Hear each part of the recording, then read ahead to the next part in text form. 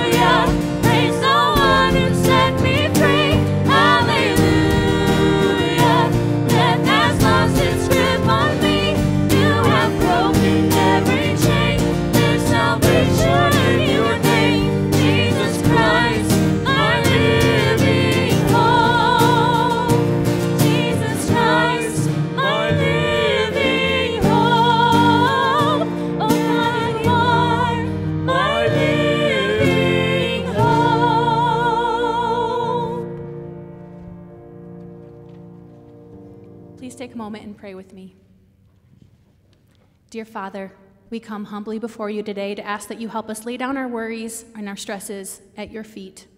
We are often selfish and we put our desires before the needs of others.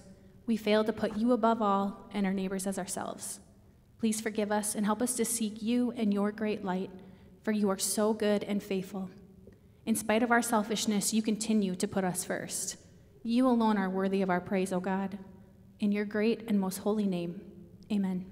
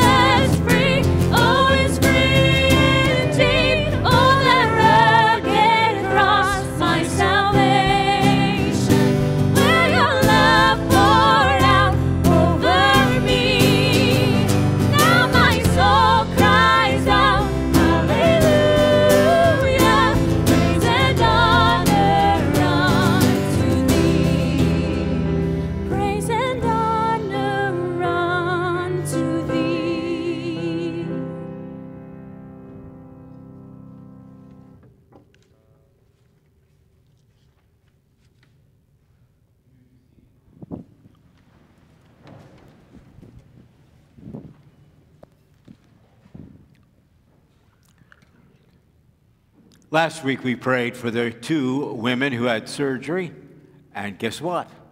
The Lord answered our prayers and they were healed. Wonderful the way the Lord works. And of course, we had 150 plus kids here in Bible school, rambunctious but having a lot of fun, and a great opportunity for 80 of our people to be involved as volunteers in that. But you know what we want most of all?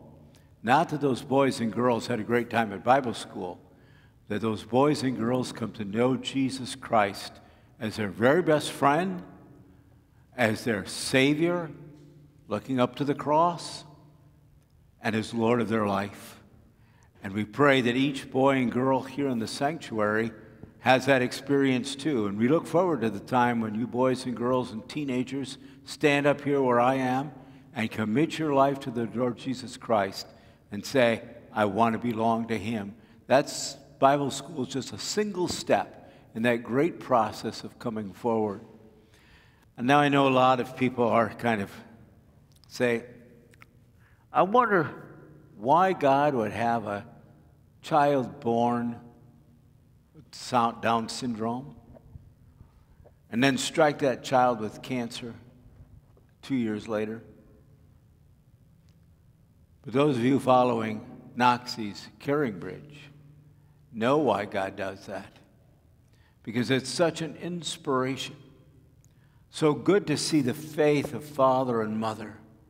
So good to see a child who's loved and embraced by hospital staff and by parents and by us who pray for Knoxie. We also are thankful that our congregation has the opportunity on the 15th of July, long ways off, to serve at the banquet. We want to remember that in prayer as well.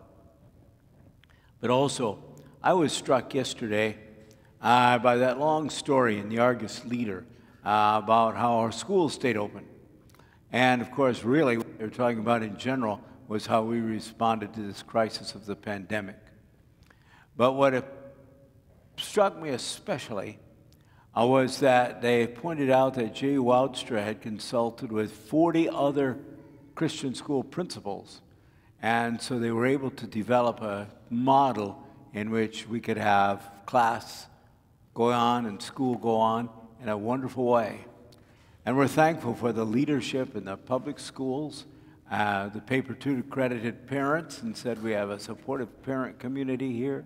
And we're thankful for the Catholic schools, the other Luke Christian schools in town, and we pray that that nurture of our children will make them the strongest generation there's ever been for Jesus. And maybe they'll need it because maybe, just maybe, we're entering the last times. Those are some of the things that we're going to pray for this morning. And so, will you join me as we come to God in prayer?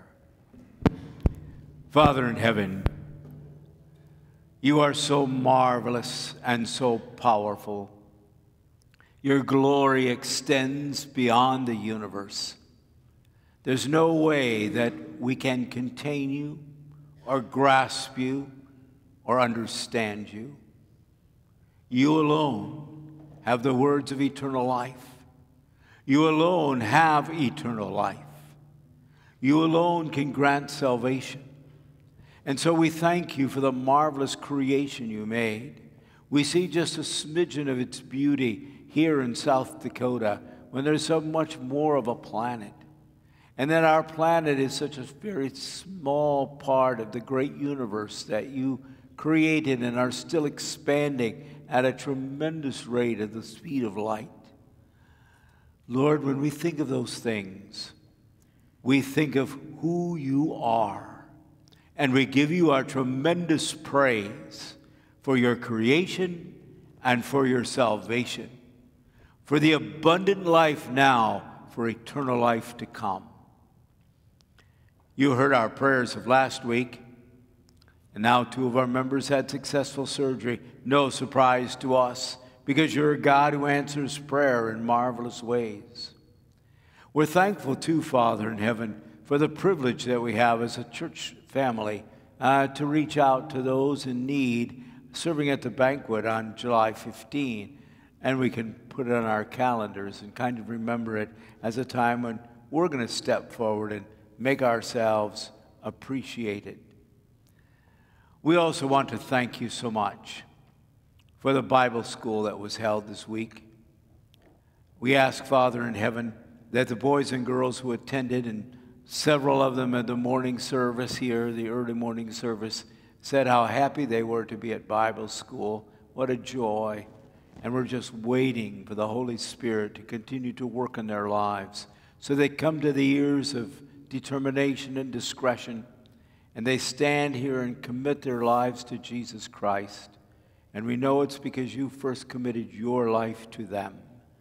Thank you so much. For each boy and girl here in the sanctuary this morning, we pray that you nurture them. May the message of this morning And may the testimony of their parents and may their education that they have, regardless of what school they attend, nurture and bless them so they grow up to be stalwart sons and daughters of the King of Kings. Father in heaven, we also come to you today because we know that the struggle with Naxivan ruler is so difficult for Aaron and Sadie. And yet, they are giving a shining testimony in their Caringbridge page. And we know that there's congregations who support their family around the country who are all praying because of Noxie. And so we understand a little bit why you send somebody into the world who's not able to function all that well, who's stricken by illness and disease. And we see ourselves. We don't always function so well either.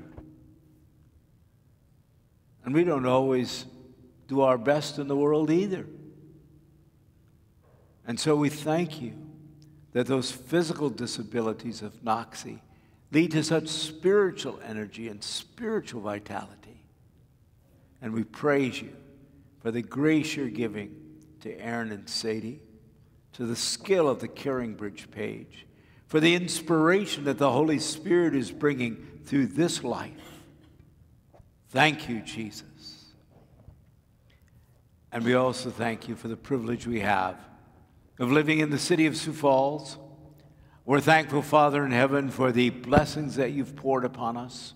We see construction all around us. The buildings are going up. People are coming to our town for opportunities to work and to live. And we pray that we may be a people who put Jesus Christ first. That the churches of this community will be churches that proclaim the true gospel of Jesus Christ. Him crucified is the only way of salvation. Our faith, the gift of the Holy Spirit, the only avenue to heaven.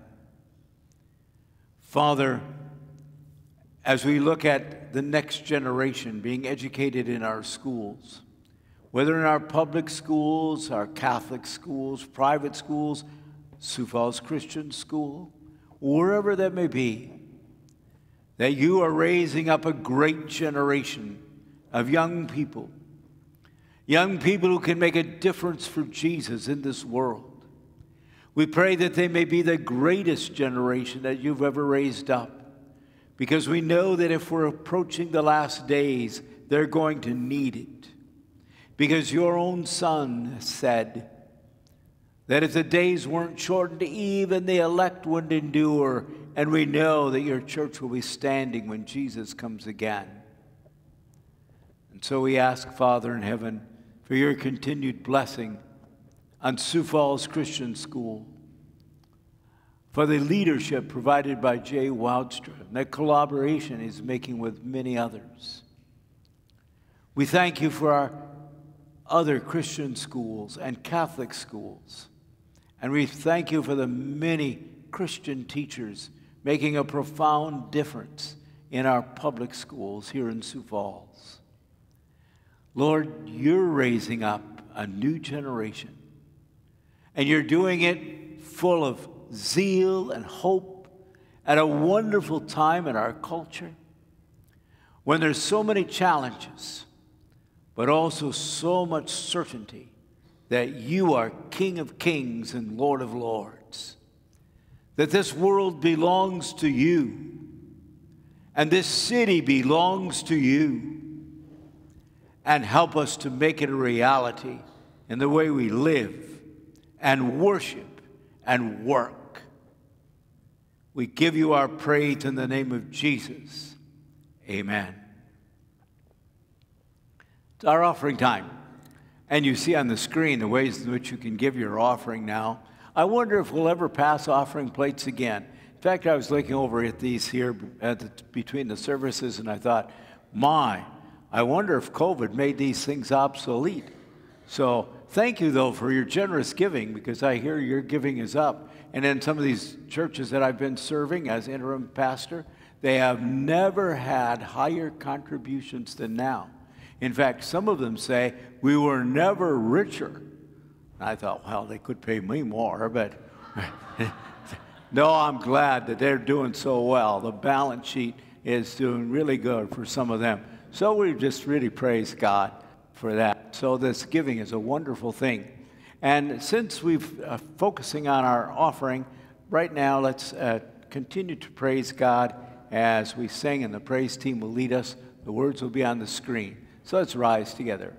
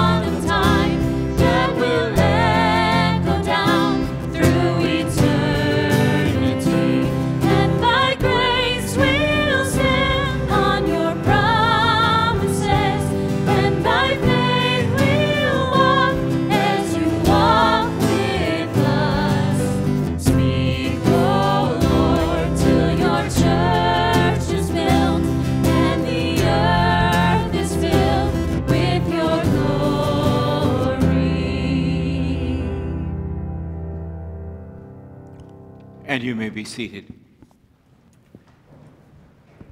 I'm sure everyone here is aware of the way our culture is collapsing. Our Christian history is being canceled. Uh, our pilgrim forefathers are no longer taught. They don't talk about uh, great awakening, and so it's, it's kind of a bad time to live. And so what happens is a lot of people ask me, what can we do? I mean, it's just like me and my church. I mean, can we do anything to change the culture in which we live? Can we be a witness for them? Well, what can we do? Well, you know that for us as Reformed Christians, uh, that's kind of a powerful thing. Because as Reformed Christians, we always believe that we should be doing something. Our evangelical brothers kind of have a little different history and a little different slant. And they kind of talk about, yeah, when we all get to heaven. You know, and so if you kind of think about songs that we sing, uh, they say, uh, we're just passing through and we're just putting everything behind us and we're focusing on heaven, and we know that things are just not going to be so good in this home. And so we can say, This world's not my home. I'm just passing through. That is true. But as Reformed Christians, uh, we're more thinking about work, for the night is coming under the sunset skies. Boy, it's almost too late to get the job done. So we really got to get out there and hustle. And so there's sort of a different slant that often in the evangelical circles, there's a lot of messages about the rapture. You know, that's the biggie. Because, yeah, well, this isn't my home. My, my home's on the other side of the rapture. And for us, we think, yeah, what could I do to be an influence in the culture in which I live? This world belongs to God. And how can I really make that a reality in the community of Sioux Falls? And so the question comes how can we correct our culture? And actually, 2 Timothy 3 provides the perfect answer. And we're going to look at the five steps that uh, 2 Timothy 3 sets out. And then we're also going to look at a disclaimer at the end because there are certain things that, well, we can't change. So let's take a look at 2 Timothy 3. I think the words will be on the screen. I'm reading it here from the same version of the Bible. But mark this there will be terrible times in the last days. People be lovers of themselves, lovers of money, boastful, proud, abusive, disobedient to their parents ungrateful, unholy, without love, unforgiving, slanderous, without self control, brutal, not lovers of the good, treacherous, rash, conceited, lovers of pleasure rather than lovers of God, having a form of godliness but denying its power, have nothing to do with them. They are like the kind who worm their way into homes and gain control over weak willed women who are loaded down with sins and are swayed by all kinds of evil desires, always learning but never able to acknowledge the truth. Just as Jannes and Jambres opposed Moses, so also these men oppose the truth. Men of depraved minds, who, as far as the faith is concerned, are rejected. But they will not get very far because, as in the case of these men, their folly will be clear to everyone. You, however, know all about my teaching, my way of life, my purpose, faith, patience, love, endurance, persecution, sufferings. What kinds of things happened to me in Antioch and Iconium and Lystra, and persecutions I endured. Yet the Lord rescued me from all of them. In fact, everyone who wants to live a godly life in Christ Jesus will be persecuted while evil men and impostors will go from bad to worse, deceiving and being deceived. But as for you, continue in what you have learned and have become convinced of, because you know those from whom you learned it, and how from the infancy you have known the Holy Scriptures, which are able to make you wise for salvation through faith in Christ Jesus. All Scripture is God breathed and is useful for teaching rebuking, correcting, and training in righteousness, so that the man of God may be thoroughly equipped for every good work. That's a familiar chapter to you, I'm sure, and there's certain verses there that have been an important part of your spiritual walk with the Lord Jesus Christ, and we embrace them too today. So, friends in the Lord Jesus Christ, I've heard a lot of sermons about how bad the world is. And I've heard a lot of descriptions of how awful it is to be living in this world. Maybe you've heard them too. But I kind of think we ought to structure our life the way the Heidelberg Catechism does. We don't have to talk a lot about sin because we all know it. And we all know the sin in our own lives. But what we need to do is talk about what's my Christian responsibility in the culture that God's placed me.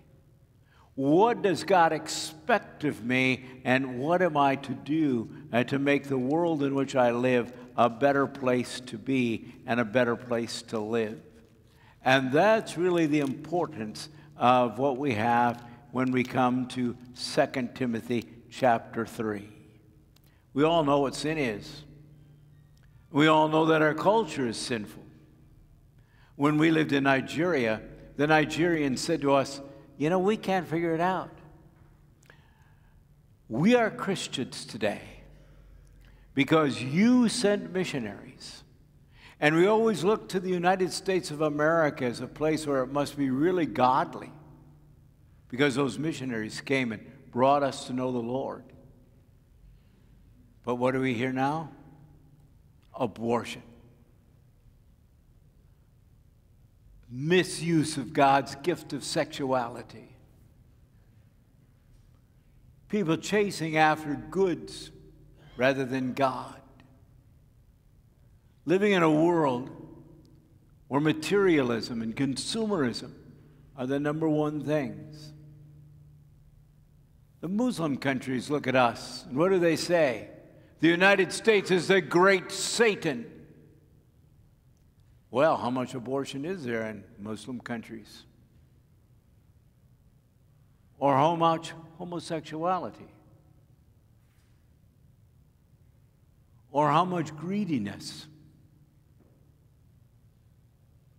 You got to admit that if you look at the United States of America, you look at our own city perhaps,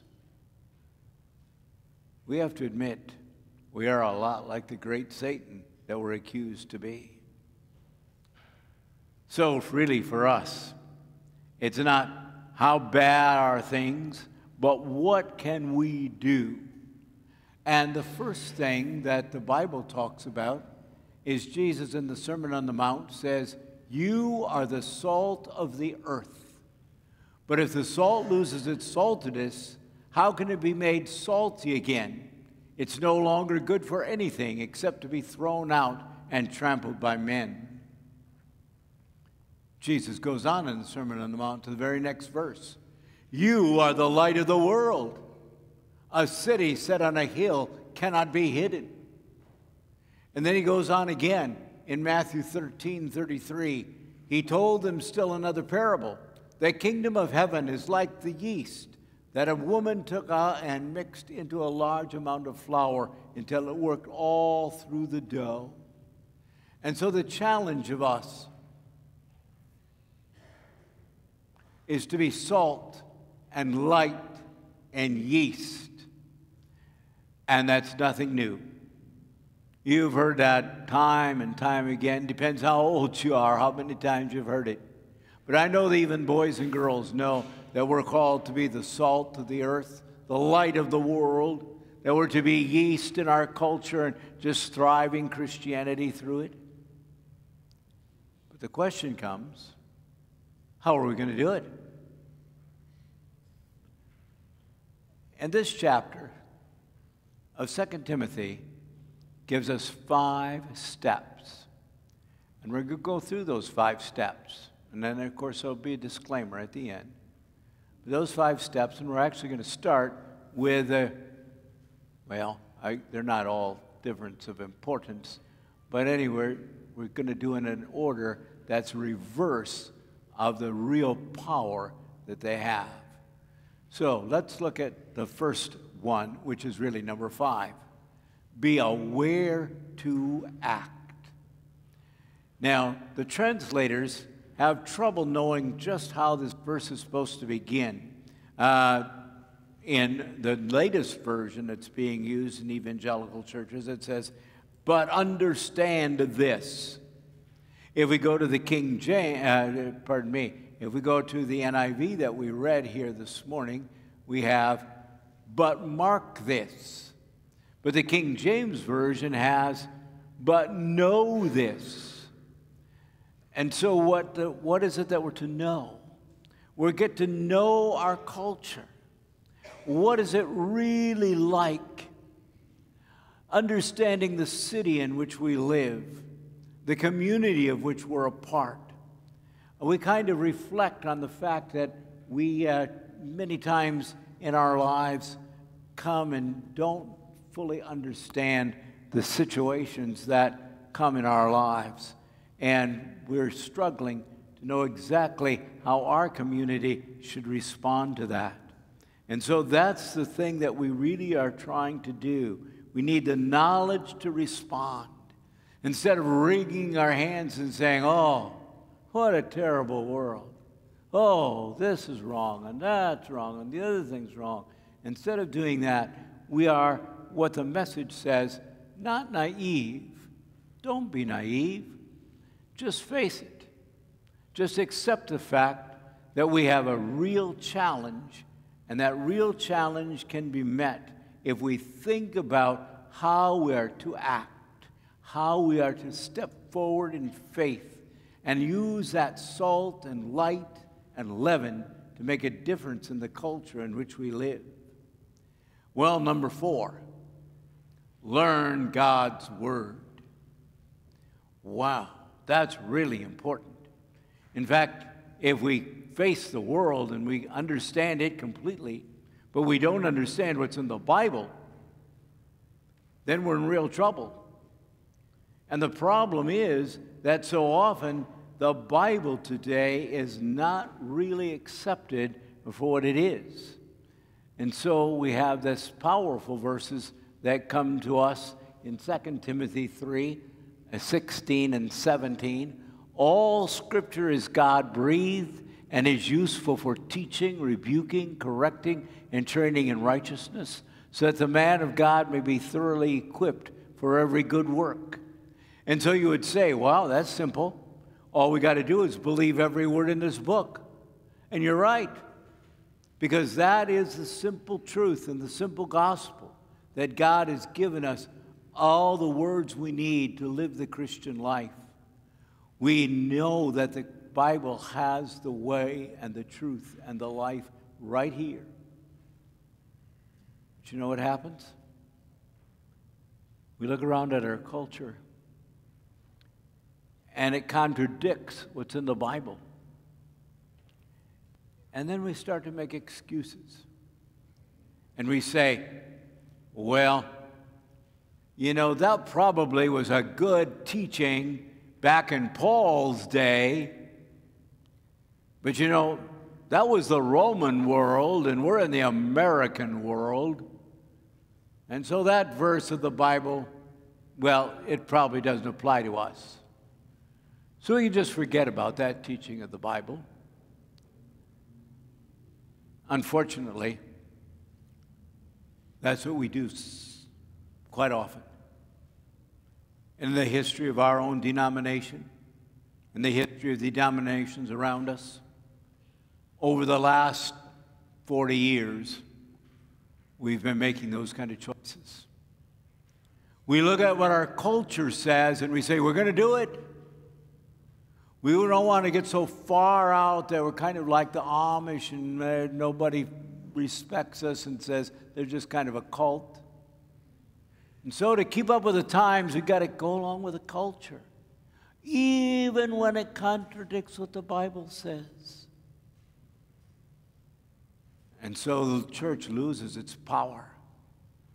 We no longer have this inerrant, infallible, authoritative Word of God guiding us over every decision that we make, over every understanding of our culture, how we need to react and act in the world in which we live.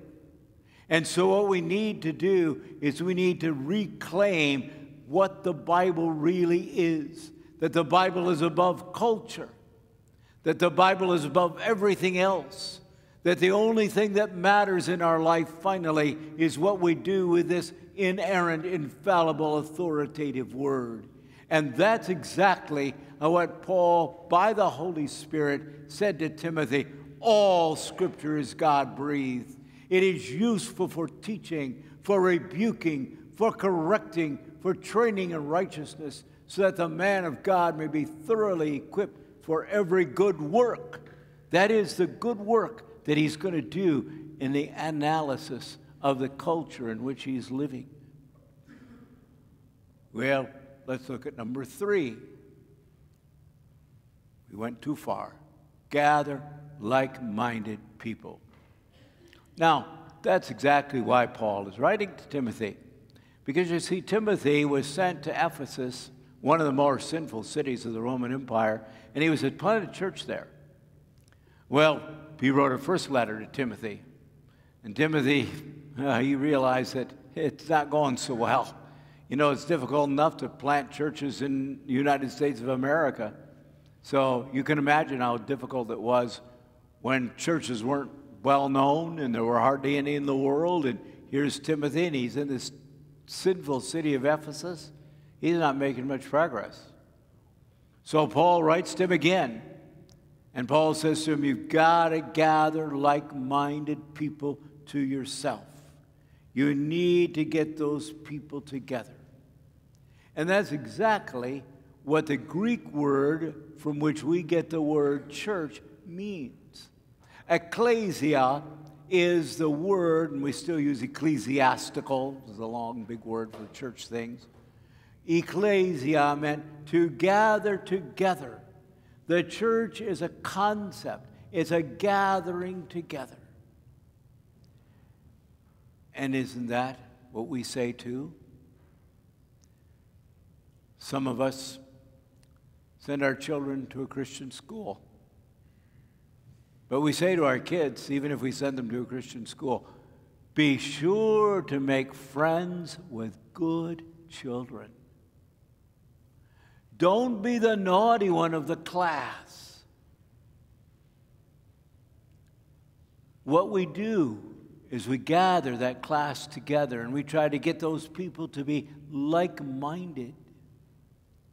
And so, right from the very beginning of our lives, whether it's in Sunday school or church or somewhere else, we're looking for that like mindedness. And then your kids get older, and you say, wow,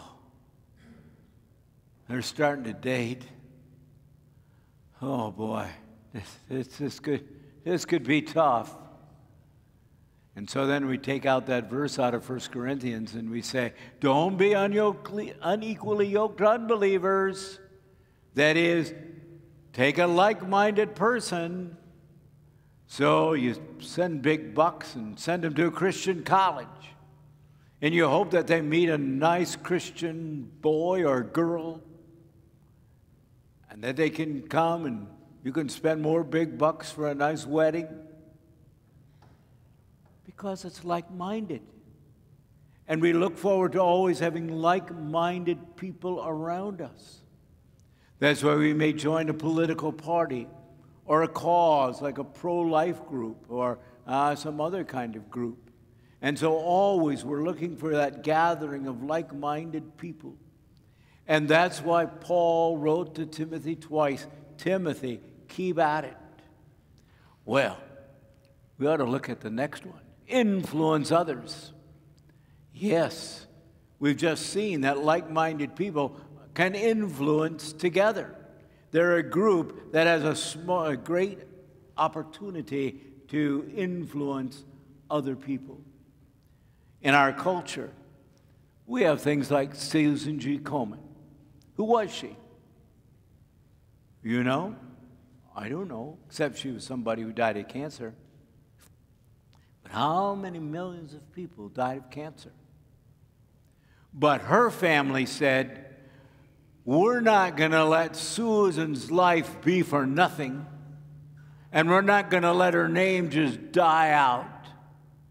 We're going to gather like minded people and we're going to get the season, Susan G. Komen Foundation together.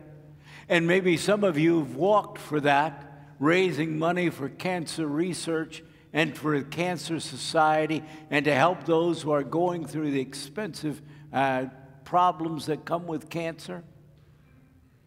You see, one person can make a difference, and that person can be remembered. And if the people who are like minded get together behind that person, they can make a tremendous difference. We do the same thing when we talk about Megan's Law of child abuse or the Amber Alert that we get on our phone when some child is taken and we don't know why or by whom. These are people who are like minded and they are examples of how we can be that way in our culture. Boys and girls, how many grades of school did Peter, James, and John have? Probably zero. Because their father Zebedee said, Guys, we got to get the fish. So they grew up. The Bible even calls them uneducated men. And look how those men changed the world. God gave them the gumption to really change the culture in which they lived. And that first Sunday, 5,000 people came to know Jesus. Tremendous what was done because one person stood up, one Timothy in the city of Ephesus. We can make a difference. And that's exactly why Paul wrote to Timothy right here in verse 14 of this chapter. But as for you, continue in what you have learned and have become convinced of because you know those from whom you learned it. That is, Timothy, you know the stuff. Timothy, you've got the courage. Timothy, you've got the power of the Holy Spirit. You can do it. And there's one more. Number one, pray. Everything depends on prayer. Oh, I know. We sometimes discount it. We say, Does God really hear prayer? Does God really answer prayer? Well, we saw examples of God answering prayer in our morning prayer. And we're going to see examples of God answering our prayer as our young people come and make profession of faith. Of course, we see answers to prayer. It's a powerful thing. Prayer changes things. And prayer sometimes even changes God. I'm sure you teenagers have heard about and learned about good King Hezekiah in the Old Testament. And God says to a prophet, You got to go to Hezekiah and tell him he's going to die. He's been king for a lot of years, done a good job. I'm really pleased, but it's time to take him to heaven. So the prophet goes and tells Hezekiah, Hezekiah, you're going to die. Well, Hezekiah doesn't want to die. He says, I have been a good king. I've done all the things God wants me to do. Why should I die? So he gets in his bed and he lies there. And he puts his face right against the wall. And with tears streaming down his cheeks, he cries out to God. He says, God, I don't want to die. I want to continue to rule for you. Help me be a good king. Oh, God says, Well, okay, to the prophet, why don't you go back and tell Hezekiah he's going to live? So he did. And then, boys and girls, you probably remember what happened. He asked for extra life, but he wasn't as good a king as he was before that experience. And so sadly, he went down, and that happens to us too when we pray. We'll pray for something, and God will give it to us, and then we misuse it. So, prayer is a powerful tool, and prayer is really important. Some of you who are I'm old enough to remember Ronald Reagan appointing Dr. C. Everett Koop as the Surgeon General of the United States. He was the first person that I ever saw that took the job of Surgeon General super seriously. He was a tall man with a real presence, and he always wore the special uniform of the Surgeon General of the United States. He was a very conservative Presbyterian. And so he was part of a very small Presbyterian denomination. Has only a few churches in the United States. And while he was Surgeon General, he was traveling all over in city after city talking about what we need to do to be a healthy country. And they tell me that he always traveled with the Christian Reformed yearbook. Because when he'd be in a city on Sunday, he'd look, hmm, is there a Christian Reformed church there? Oh, yes, sure enough. And he'd show up in his uniform. And wow, was that impressive. People used to just, their friends being in church, and all of a sudden, somebody in this big military uniform comes marching down the aisle, sits in the front, tall, posing figure. Some of my colleagues have told me about that experience.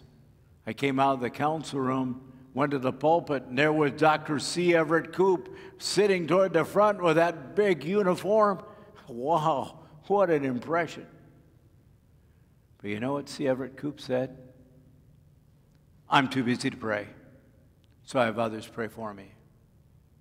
In my duties as Surgeon General, I'm just going all over the place. I don't have time to pray. I think he speaks for a lot of us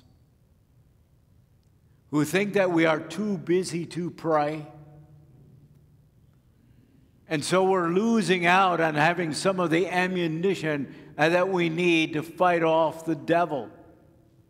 We haven't taken time to really sit down and reflect on what Jesus wants us to think about. And so we're losing the ability to be strong in the Lord. We have a tendency to be doers, not prayers. But probably some of our best prayers are people who are in listening in the rest homes today or listening in retirement homes. They have the time to pray. And I've had countless of them say to me, Why doesn't God take me home? I'm ready to go to heaven now.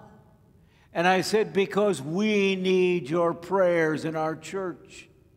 We need your prayers for our country. Prayer is the only thing that can turn us around. Well,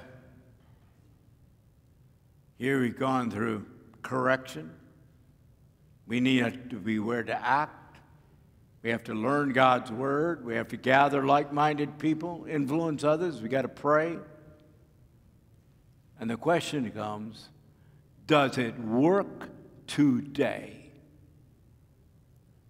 Or is this just something that is historical? And it was okay for Paul and okay for Timothy and maybe okay for Ephesus. But what about Sioux Falls? What about our lives?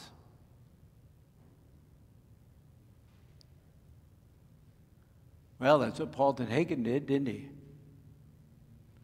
He was a businessman in our community. And he says, This is what our city needs.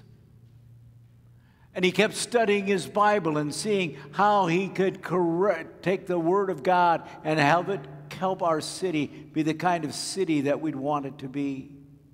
He gathered like minded people together. People said, Yeah, Paul, we'll be your campaign committee. We'll see that you can be promoted to mayor. Then what did he do? He influenced others enough so that they voted for him, so that now he's our mayor. He's done the whole thing praying that he would be a powerful witness for Christ in the city of Sioux Falls. Now you can say, well, Paul TenHaken, he has special gifts. Well, maybe he does. But you're just as special as, God, as, as he is to God. And you have the same Holy Spirit. And you have the same talents, different ones. But God wouldn't have you here if He didn't expect you to be doing something for His kingdom. And so we're living in a community, in a city, in a culture, in a state where you and I can make a real difference by simply praying seriously, influencing others, gathering like minded people, learning God's word, being aware to act, and we can make a difference. And we make a difference. And we will make a difference if all we do is follow those steps out of 2 Timothy 3. But now some of you teenagers are pretty smart. And you say, you know what? There's two parts to that verse. We saw verse A first, but now what's verse B? There will be terrible times in the last days. Uh oh. What if we are coming into those last days? The days described here in the first part of the chapter. What if we're almost up to the return of the Lord Jesus Christ? What if God has decided that after He blessed the United States of America, it's time to punish us? And He'd sure have enough reason to punish us, wouldn't He? And we'd have to take it because we deserve it as a country. So, yeah, maybe even when we do our best, we still can't turn things around. Because after all, Christ said, For false Christs and false prophets will appear and perform great signs and miracles to deceive even the elect if that were possible. And what are the last two verses of the Bible? You teenagers remember those? Well, let's put them on the screen. He who testifies to these things says, Yes, I am coming soon. Amen. Come, Lord Jesus. The grace of the Lord Jesus Christ be with God's people. Amen. Jesus is coming. The time is coming.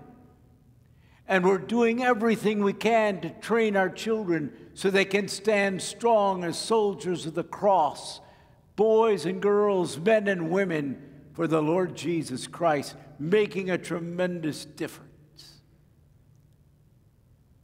We need the courage to stand, to know that God could, in His providence, overrule our best efforts. But He still asks us to be the salt and the light and the leaven of this world. That became especially apparent to me when I was teaching in Nigeria. I've taught courses in seminaries in the United States of America. I've taught at seminary in Mexico. And then I taught in Nigeria. And that's a whole different game. Because you see, Nigeria is divided half Christian, half Muslim. And the experts in foreign affairs tell us that the way Nigeria goes is the way Africa goes. Africa could be a tremendously powerful Christian continent, or it could be a Muslim continent, also terrible and treacherous. And so I sat and stood in front of a classroom some of my classes are 24, 40, 72 was my biggest class. And 175 men. And what were they training to be? Pastors. What happens if the Muslims come into your community? Who is the first person that they capture? It's the pastor because they know that if they're in a Christian village, the pastor has been the outstanding spokesman for the gospel. The pastor has been saying Islam is incorrect. The pastor has been the driving force. And so, what is their choice of preference?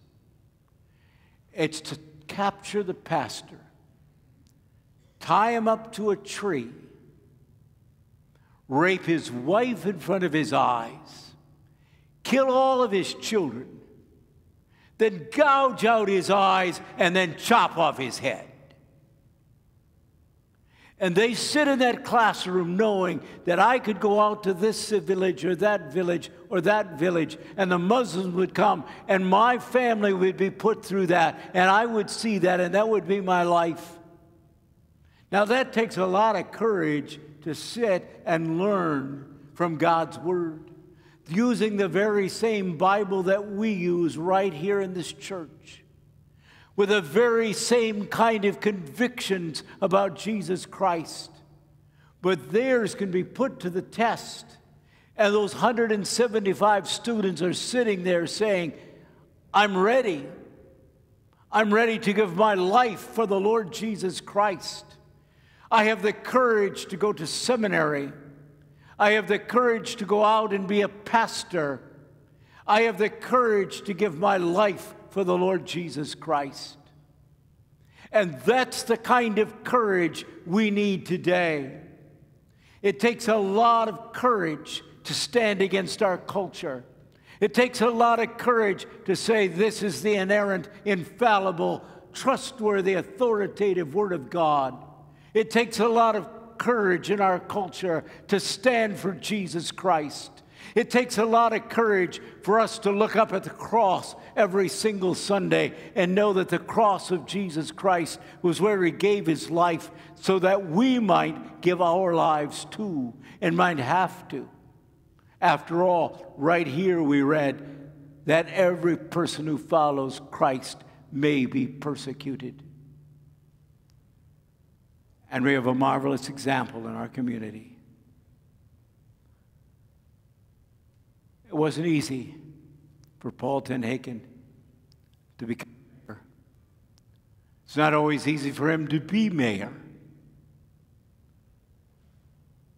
But he has the courage to have looked at what our city needs, try to meet those needs, to influence others to be supportive, to pray until God's will is done.